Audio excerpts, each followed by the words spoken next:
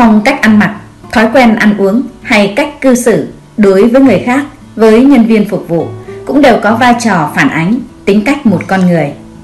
Chỉ cần để ý một chút, bạn có thể hiểu rõ về đối phương, xem người này có xứng đáng để mình kết thân hay không. Biết rằng không thể đánh giá con người thông qua vẻ bề ngoài hay trong một hai lần tiếp xúc, nhưng càng trải nghiệm cuộc sống này, bạn sẽ càng nhận ra rằng đôi khi những chi tiết rất nhỏ lại có thể nói lên bản chất một con người. Hôm nay tướng số tử vi cùng quý cô bác anh chị và các bạn khám phá 15 cách nhìn người qua hành động hay đặc điểm đơn giản để có thể kết giao bạn bè, gặp được những điều may mắn, tài lộc đong đầy. Chào mừng quý cô bác anh chị và các bạn đến với Phong thủy và thông điệp ý nghĩa cuộc sống trên kênh Tướng số tử vi của chúng tôi ngày hôm nay. Lời đầu tiên, thay mặt cho ban biên tập của chương trình, xin gửi tới quý cô bác, anh chị và toàn thể các bạn những lời chúc tốt đẹp nhất. Chúc quý vị dồi dào sức khỏe, có nhiều niềm vui, hạnh phúc, thành công và tài lộc đong đầy. Quý cô bác anh chị và các bạn đã biết, kênh Tướng số Tử vi chuyên nghiên cứu và chia sẻ những thông tin về tử vi, tướng số, phong thủy, tâm linh và những thông điệp khoa học, ý nghĩa của cuộc sống. Trong đó, có nhiều video hiện nay đang nhận được sự quan tâm, ủng hộ và chia sẻ từ phía đông đảo quý cô bác, anh chị cùng toàn thể các bạn. Hôm nay trong chuyên mục Hôm nay trong chuyên mục Phong thủy và thông điệp ý nghĩa cuộc sống, ban biên tập của chương trình sẽ chia sẻ với quý vị nội dung nhìn vào 15 đặc điểm này để chọn người kết bạn gặp vạn điều may, tài lộc đong đầy. Và để đến với nội dung chi tiết ngày hôm nay, quý vị đừng quên hoan hỷ đăng ký kênh rồi nhấn tín hiệu chuông ở phía dưới. Khi xem thấy hay và hữu ích, quý vị hãy chia sẻ cho đông đảo mọi người cùng tham khảo. Và ngay bây giờ là nội dung chi tiết của chương trình hôm nay. Và để xây dựng cho mình được những mối quan hệ chất lượng, bạn cần phải phân tích, đánh giá đối tượng mình muốn kết giao. Một, đó là người mất bình tĩnh vì những chuyện bé như con kiến. Lưu loa phản nàn về những chuyện nhỏ nhặt, vô thưởng vô phạt chỉ khiến cho người đó thể hiện là mình không giỏi kiềm chế cảm xúc, nghĩ gì nói nấy. Họ không giỏi chịu áp lực và khó giữ bí mật. Hay than vãn làm lớn chuyện nhưng thật sự họ không để bụng. Cũng không phải là người thù lâu, mưu mô, thế nhưng với cách hành xử bột chộp này, họ khó mà làm nên việc lớn. 2. Thái độ đối với nhân viên phục vụ sẽ nói lên bản chất thực sự của một người. Dù có là người quyền cao chức trọng, triệu phú hay tỷ phú thì cũng không có quyền được vô cớ chút giận lên đầu người khác. Nếu bạn để ý thấy một người lúc nào cũng cao có, quát nạt nhân viên nhà hàng, bảo vệ, lao công thì tốt nhất đừng quá thân thiết với họ. Đây là những người có phần tự tin thái quá, nghĩ mình là nhất và luôn tỏ ra coi thường người khác. Họ không mấy ưa những người lao động chân tay, luôn tỏ ra rẻ bỉu, khó chịu, dù đối phương chẳng làm gì tổn hại đến mình. Nên hạn chế chơi với những người luôn coi mình là trung tâm của vũ trụ này, vì biết đâu đến một ngày nào đó bạn lại trở thành nạn nhân của họ. Quý cô bác anh chị và các bạn cũng đừng quên xem thêm video bảng xếp hạng vận may, cách kích lộc vượng tài, một năm như ý, tiền tỷ về tay của 12 con giáp năm 2023. Video đã phát trên kênh Tướng số Tử Vi. Quý cô bác anh chị và các bạn đang theo dõi, nhìn vào 15 điểm này để chọn người kết bạn, gặp vạn điều may, tài lộc đong đầy. Để đến với đặc điểm thứ ba của người cần phải chú ý trước khi kết bạn thì rất mong quý cô bác anh chị và các bạn chưa đăng ký kênh, quý vị hãy hoan hỉ đăng ký kênh miễn phí rồi nhấn tín hiệu chuông ở phía dưới. Khi xem thấy hay và hữu ích, quý vị hãy chia sẻ cho đông đảo mọi người cùng tham khảo. Và ngay bây giờ là đặc điểm thứ ba, lúc nào cũng đắm chìm trong quá khứ. Nếu lần nào gặp bạn họ cũng kể về chiến tích, về thành tựu trong quá khứ với những câu chuyện lặp đi lặp lại, có khi những câu chuyện ấy bạn đã thuộc lòng thì đây chính là dấu hiệu cho rằng người đó đang không ổn, bất mãn, có nhiều chuyện muộn phiền xảy ra với họ ở hiện tại. Có thể họ đang không hài lòng với chính bản thân mình, luôn tìm kiếm bản thân ở phiên bản ngày xưa. Điều bạn có thể làm lúc này là tìm hiểu xem họ đang gặp vấn đề gì và đưa ra lời khuyên để họ tháo gỡ vấn đề, sống vui vẻ với thực tại. 4.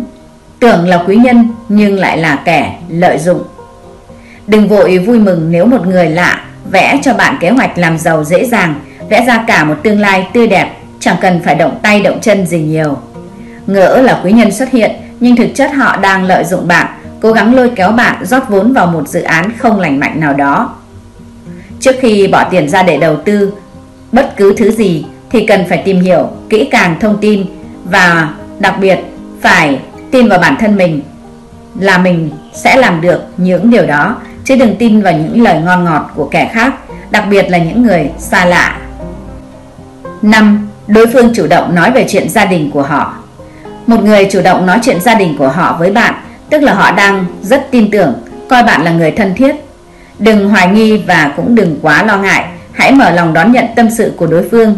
Khi họ trải lòng, tức là họ đang cần lời khuyên Hoặc muốn nhận sự quan tâm từ bạn.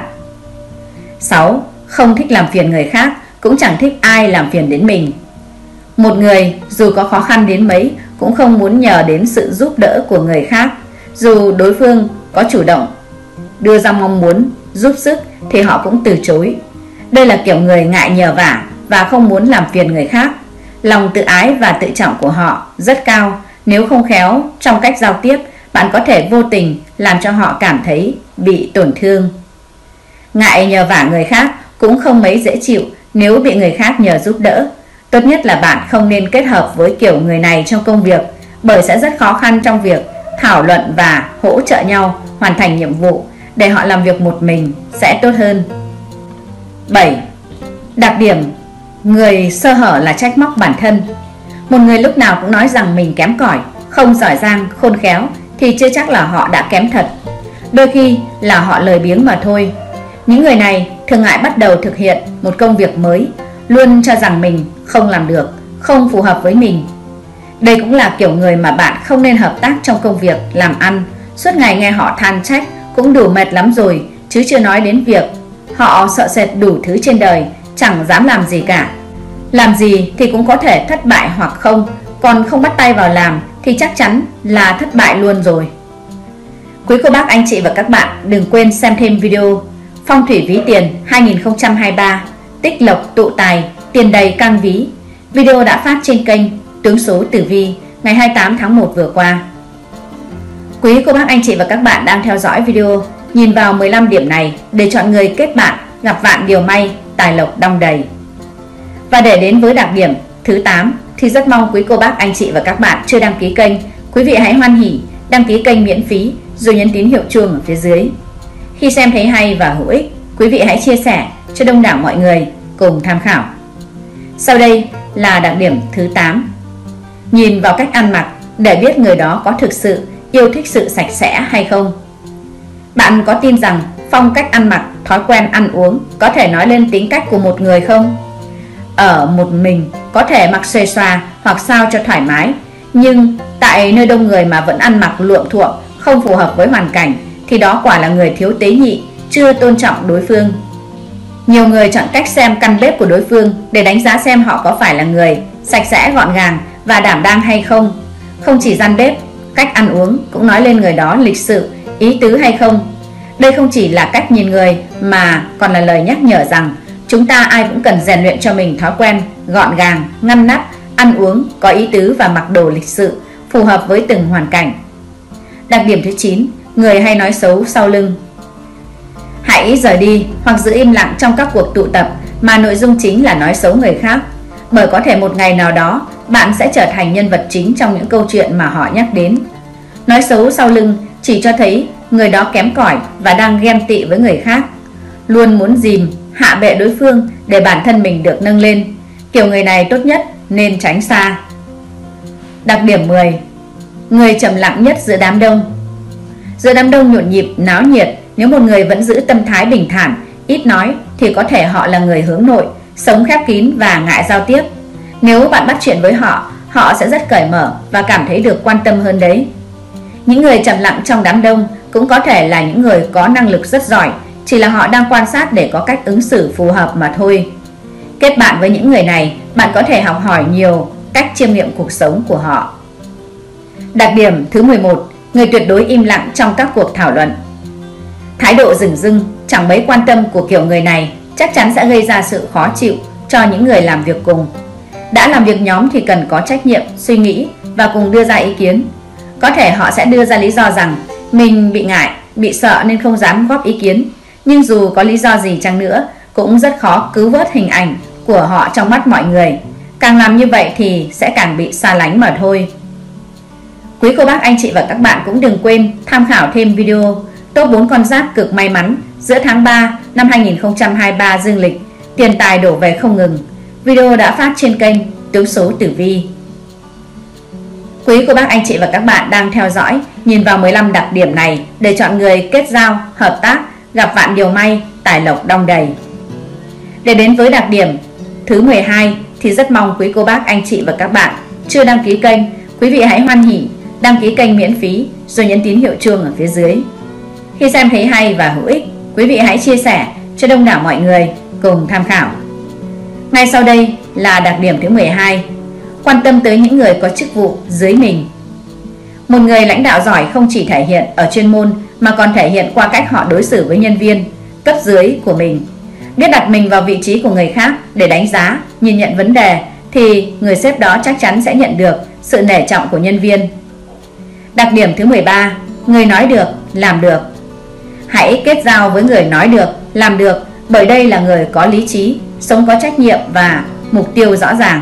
Họ là người rất đáng tin, không hứa hẹn suông, không nói chỉ cho vui miệng. Bảo dậy sớm thì dậy sớm, nói tập thể dục thì sẽ thực hiện, cho thấy đây là người có quyết tâm, tính tự giác cao.